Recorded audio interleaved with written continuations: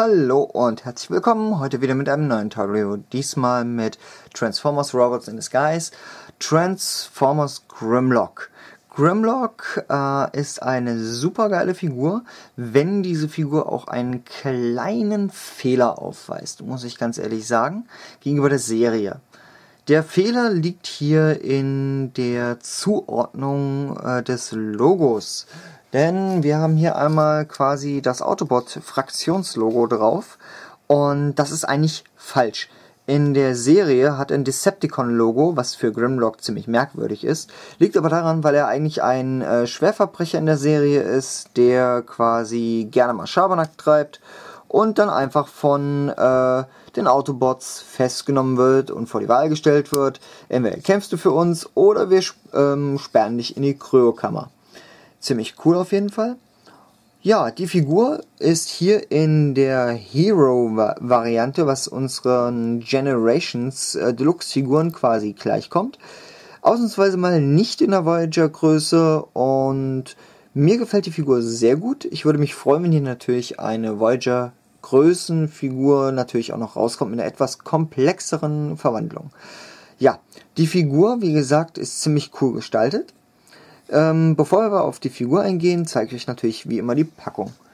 Die Figur wird in dieser Blisterbox geliefert und ähm, wir sehen einmal ganz groß hier vorne Grimlock, den Namen, das Logo. Ähm, typisches Generations 4 Design, finde ich aber trotzdem nicht schlecht. Oben das Logo von Robots in Disguise, das Artwork von Grimlock. Ansonsten an der Seite nochmal das Artwork ganz groß, auf der anderen Seite nichts und drunter halt den kleinen Produktkatalog mit allen Varianten, also das heißt allen drei weiteren Figuren. Und hinten drauf sehen wir halt quasi uppala, äh, die zehn verschiedenen Steps, um ihn zu verwandeln. Weniger ist, wie gesagt, manchmal mehr. Ansonsten sehen wir hier Grimlock im Roboter-Modus, im Dino-Modus und er hat hier einen kleinen Hebel, wenn man ihn nach vorne dreht, dann öffnet er seinen Kiefer. Ansonsten haben wir hier dann äh, quasi nochmal die Anleitung, Download der App, Scan des Codes und spielen. Was ich sehr interessant finde, ist, dass bei jeder Figur hier unten von der jeweiligen Figur auch der Kopf abgebildet ist und die Waffe. Was ich hier sehr schade finde, ist, Grimlock hat hier einen Hammer abgebildet, aber bei der Figur selbst ähm, ist keine Waffe dabei. Finde ich sehr schade. Ein Hammer wäre jetzt wirklich hier perfekt gewesen, da eigentlich alle Figuren mit Waffen ausgestattet sind. Ja, Grimlock nicht. Ich weiß nicht, ob es ein Produktionsfehler ist, dass der einfach rausgelassen wurde oder wie auch immer. Ansonsten Steeljaw wird mit Clown geliefert, Bumblebee mit einem Schwert und Longarm mit einer Laserkanone. Nur Grimlock nicht. Sehr schade. Ansonsten, wie gesagt, geile Figur. Kommen wir jetzt einfach mal zu der Figur an sich. Die Figur hat ähm, kein Balljoint gegenüber den anderen Figuren. Ich versuche gerade mal das Licht anders zu positionieren. So. Ähm, hat blaue Augen, ein bronzefarbenes Gesicht und eigentlich ein sehr interessantes Health Sculpt. Gefällt mir auf jeden Fall. Und ansonsten kann er nur den Kopf nach links oder rechts drehen aber äh, leider nicht auf einem Balljoint, dass man ihn jetzt nach oben oder nach unten richtig winkeln kann. Nur so ein mini, mini, mini Gelenk. Das war's. Und ja, das war's eigentlich soweit.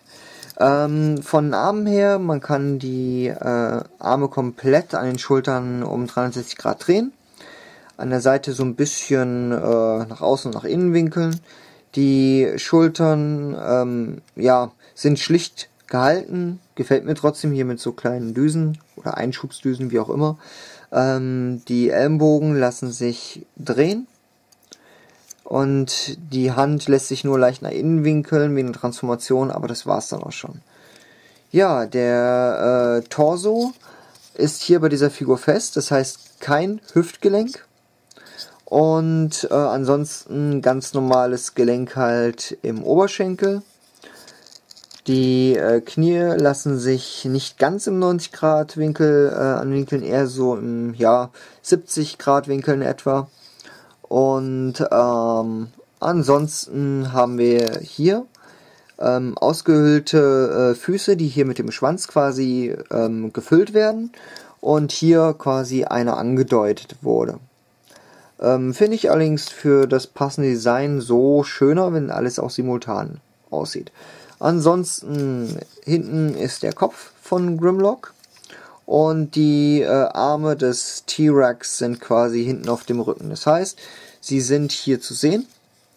Man kann sie aber auch alternativ nach vorne winkeln. Das sieht aus, als wenn das seine richtigen Hände wären, auch vom Größenverhältnis. Und er hier nochmal zusätzliche Hände quasi hat. Kann alles machen, wie man möchte. Ich habe jetzt die Serie noch nicht gesehen. Ich denke mal, vielleicht ist das sogar eine Möglichkeit von ihm, dass er wirklich seine Hände äh, zeigt. Ja, ansonsten kommen wir jetzt auch einfach mal zur Transformation. Transformation ist ziemlich simpel, macht aber ordentlich was her. Zum einen splitten wir hier oben die Arme von dem Oberkörper ab. So, das gleiche hier. Geht ein wenig schwerer, ähm, aber nicht entmutigen lassen. Liegt an diesen kleinen Stiften, die hier vorne drin sind. Sind ein bisschen lang geraten. So, dann dreht ihr hier vorne die Arme schon mal nach vorne vom T-Rex. Dann dreht ihr hier die Roboterarme bzw. T-Rex-Beine nach außen. Sieht schon mal ziemlich lustig aus, ähm, als wenn er hier wirklich seine richtigen Hände hätte, äh, die er quasi benutzen kann. Und hier wie so eine Art Dr. Octopus-Hände, so zusätzliche. Ähm, so, anschließend ähm, dreht ihr schon mal den T-Rex-Kopf nach oben. Nimmt jetzt hier den, äh, die Beine, dreht die äh, die, die Füße nach oben. So. Drehe die Beine ein bisschen auseinander. Nehmt jetzt hier bei dem Bein den T-Rex-Schwanz nach außen. Dann verbindet ihr die Beine miteinander. Jetzt gucken natürlich hier noch die Roboterbeine raus. Das ist eine sehr ausgeklügelte Technik, muss ich sagen. Ähm, hier einfach jetzt die herausziehen an der Seite und nach vorne winkeln. So. Dann einmal hier verbinden.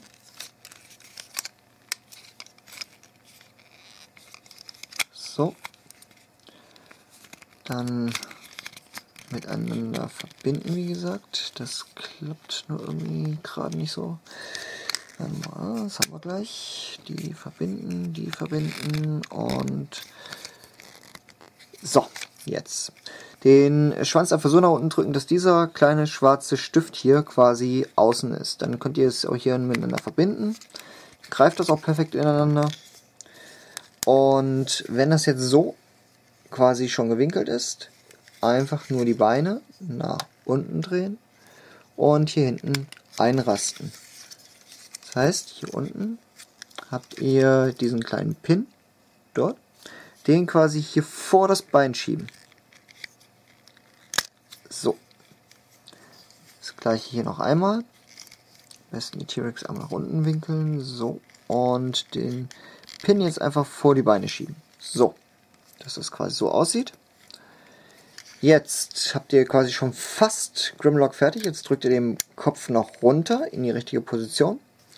Die Beine dreht ihr jetzt einmal komplett herum. Hier ebenso, dass die Hände, quasi die Roboterhände außen sind. Und die winkelt jetzt einfach nach innen in die Arme rein. Das gleiche hier. So, und schon haben wir quasi die Beine von Grimlock fertig. Das Einzige, was mich ein bisschen an dieser Figur verwundert, sind die Gelenke. Er hat hier drinnen äh, kleine Zahnräder und ihr hört es auch selbst. Nach innen winkeln geht es ganz einfach, aber nach außen geht es deutlich schwerer. Ja, das ist jetzt soweit Grimlock, wie er in seinem T-Rex-Modus fertig ist. Und mir gefällt die Figur auf jeden Fall enorm. Wie gesagt, ich hätte gerne ein, ähm, eine Voyager-Größenfigur. Mal schauen, ob hier Hasbro eventuell noch was im Laufe des Jahres rausbringt. Das Jahr ist ja noch jung. Ansonsten ist hier oben der Hebel. Wenn ihr nach vorne klappt, dann seht ihr selbst, öffnet er den Kiefer. Und ich muss sagen, das mit den Zähnen ist extrem gut gelungen. Nicht so wie damals, äh, was ein ähnliches Head-Design war vom Animated ähm, Grimlock. Hier ist es auf jeden Fall deutlich besser und es sieht sogar geil aus. Ja, das ist jetzt quasi Grimlock, wie er leibt und lebt, in der äh, Deluxe Class Größe. Ihr seht hier nochmal im Verhältnis. Und ja, Grimlock liegt es natürlich klassischerweise überall mal drauf zu hauen. Äh, er hat aber auch eine kleine Spezialattacke, ähm, dass er sich einfach auf den Gegner schmeißt. Und wegen seinem Gewicht kann der Gegner meistens nichts machen und so setzt er ihn fest. Ja, ich würde dieser Figur jetzt ähm, 9 von 10 Punkten geben. Auf jeden Fall super geile Figur in der Größe, gefällt mir. Mit einer sogar meiner Lieblingsfiguren. Super Design. Auch die Farbwahl ist mal was ganz was Neues. Äh, Grün-Schwarz passt Grimlock extrem gut. Und ja, ich würde gerne mehr davon sehen. Ähm, hoffe mal, dass da noch einiges rauskommt. Und äh, ja, ich habe noch den Flip and Change, den großen, den werde ich euch auf jeden Fall auch noch zeigen, aber dazu später mehr. Ich würde mich freuen, wenn ihr einfach ähm, Kommentare mir hinterlasst und ähm, mich abonnieren würdet, beziehungsweise weiterempfehlen würdet, verlinken würdet, wie auch immer. Wir sehen uns das nächste Mal. Bis dahin, ich wünsche euch was. Euer Rex for